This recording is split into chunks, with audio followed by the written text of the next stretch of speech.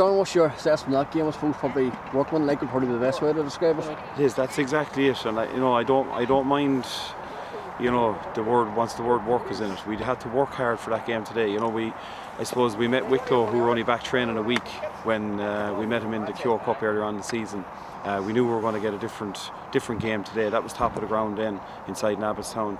Here today, you know, heavy conditions. I thought we really fought hard for um, what we got there today, and that was the points leaving uh, Arklow. So we're happy with that.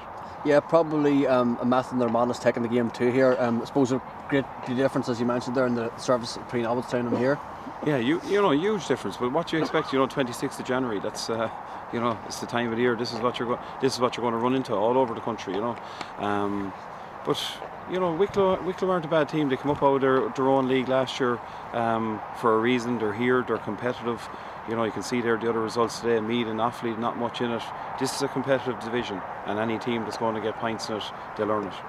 What did you say to the lads at half time? Because it seemed to take you a long time to get into the game. I think it was maybe 10 or 12 minutes before you really sort of got it into full swing. Yeah, I suppose like uh, Wicklow had a bit of a roadblock up there with their two wing forwards, you know, dropping deep. And uh, we just had to stick to our shape and don't let them dictate, uh, you know, the way the game is going to be played. So we just revisited what we're doing in training, the shape we're taking up, the way we want the ball played. We kind of got on top for 16, 17 minutes and scored eight points to one. Would that be that yeah, right? you were you had eight points unanswered after the, yeah. the restart. So that's you know that was a good time once we got our shape together, and uh, you know our boys have a good fitness base in now this year as well, um, which probably told on the heavy ground. You know we're able to stay going. Um, so you know positives, things to work on, but wants to learn, wants to learn from what happened in the first half. That'll be uh, us doing our job as a management team. Yeah. Well, uh, Darren, do you think they maybe tried to play that top of the ground hurling and conditions that didn't really suit it? Yeah, well, pr- probably a bit. You know, John, we're, we're training above in good conditions as well in uh, in Jordanstown. You know, good solid fields. So, you know, what you're what you know what you're training at on different surfaces. But we have to learn how to adapt. You know, there's going to be there's going to be different conditions. We could have a fall of snow, and you're coming back to a heavier pitch. Um, again, you know, when we go up to Loughgiel, I know it's always a good surface there. So um, we're looking forward to it. What was the squad holding up injury wise? Obviously, there's a few boys still out injured, like the Ciaran Clarke and, and Conor McKellen. What's the latest news, boys? Yeah, Conor is just back there now, and Ciaran's really getting through his rehab well. He's um, he's after coming a lot.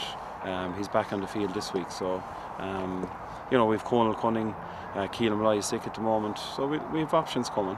But the guys that are there are, are working hard. There'll be a few lads disappointed didn't get to the field today, but they'll get their chance too. Do you feel maybe the first half especially would be a, a good uh, warning for next week's game against Mayo? I suppose at this level you can't take anything for granted and I suppose teams like Wicklow and, and Mayo will see on them as a big scalp. Oh, they will, they will. But you know, we, uh, we'll be treating them with respect. We'll be training hard for them this week, and we'll be putting out a team that uh, that that's going to be really competitive. And we and we're playing in our own home patch next week, and whoever comes in, uh, we're going to make it really difficult for them.